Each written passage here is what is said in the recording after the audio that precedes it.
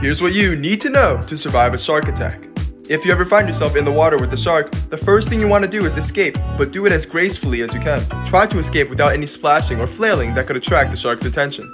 If escaping the water isn't an option, you'll want to try to discourage the shark from biting you. You can easily do this by taking your fin or another long object to poke the shark on its nose, which is a really sensitive area. This usually causes the shark to back up and gives you a good amount of time to make your escape.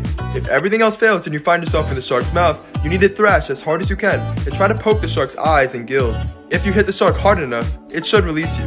No matter what, always remember to never be passive when facing a shark. You want to indicate to the shark that you are bigger and stronger, even if you're not.